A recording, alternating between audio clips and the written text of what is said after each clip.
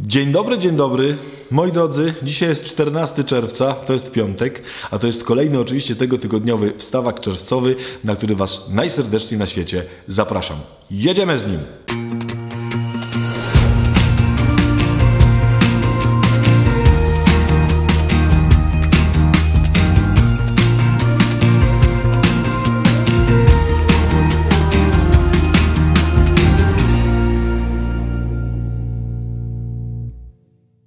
Moi drodzy, moi kochani, y, witam Was najserdeczniej w piątek i zapraszam tak jak zawsze na cytat z Biblii, czyli z najlepszej cytatowni albo czy cytaciarni y, świata, czyli zdania, które robią całą robotę w sercu, jaką mają zrobić.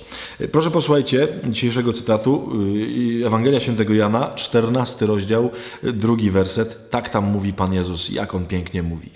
W domu Ojca mego jest mieszkań wiele. Gdyby tak nie było, to bym Wam powiedział – Idę przecież przygotować wam miejsce. Kochani, strasznie kocham tę troskę i tę czułość Pana Jezusa, którą widzę w tym zdaniu. Pan Jezus ma u Ojca, razem z Ojcem, ogromny dom, czyli w ogóle wszystko. Wszystko jest własnością Pana Jezusa. To jest Jego dom. Wszystko, co istnieje, jest domem Pana Jezusa, a szczególnie w tej rzeczywistości, do której nas zaprasza po śmierci, nie potrafimy sobie jej wyobrazić, ani w ogóle o niej myśleć, ale ona należy do Niego. I On nie jest skoncentrowany na sobie i mówi sobie, mam wielką chałupę, będę sobie w niej mieszkał. Nie. Tylko on mówi, przygotowałem dla każdego z was miejsce. I kochani, tu nie chodzi tylko i wyłącznie o przestrzeń, tak? To nawet w ogóle nie chodzi o przestrzeń. Tylko Bóg ma dla Ciebie przygotowane miejsce, czyli cały świat dla Ciebie. Jakby cały ten świat, w którym Ty jesteś, On ma już przygotowany dla Ciebie. I On w tej chwili zajmuje się przygotowywaniem tego na Twoje przyjście. Pomyślcie, co to znaczy? Że kiedy umrzemy, to pójdziemy do Boga jako bardzo oczekiwani goście. Czy nie jest tak, że po prostu wejdziemy anonimowo, no dobra, jakiś tam sąd, może się spotkamy, w pewnym momencie może będzie audiencja u Pana Boga. Nie. Ten cytat mówi, że Jezus tam w tej chwili organizuje to miejsce, czyli organizuje całe nasze bycie tam po śmierci. Mało tego. To znaczy, że On już tutaj też działa w naszych sercach, bo nas przygotowuje do tamtego miejsca, czyli Jezus w Tobie aktywnie działa, przygotowując Cię do nieba. Mnie to bardzo ujmuje, że Pan Jezus nie poszedł sobie tam i mówi, dobra, zobaczymy się ewentualnie na końcu świata, jak będzie moje powtórne przyjście, tylko mówi, nieustannie robię w Tobie przygotowanie do tego, żebyś do mnie przyszedł.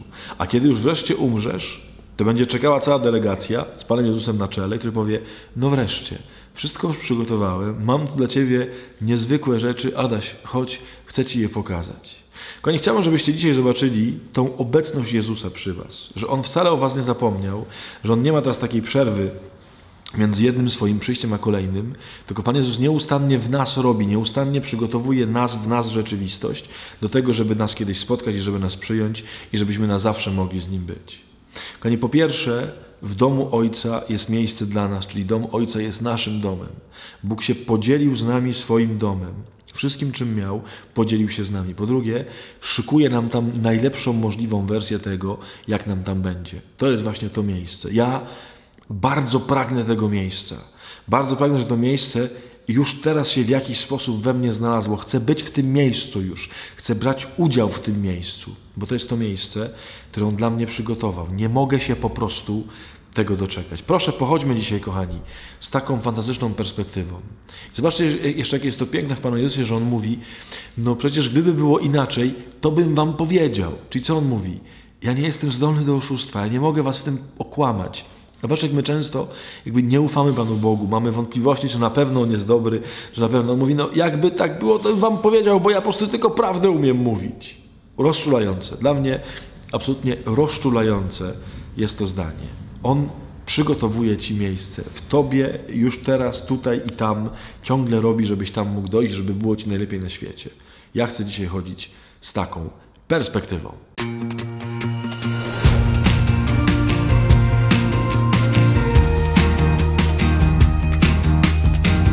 O mamo, moi drodzy, to by było na tyle w tym dzisiejszym odcinku. Zapraszam oczywiście na jeszcze jeden jutrzejszy sobotni. Mam nadzieję, że się zobaczymy.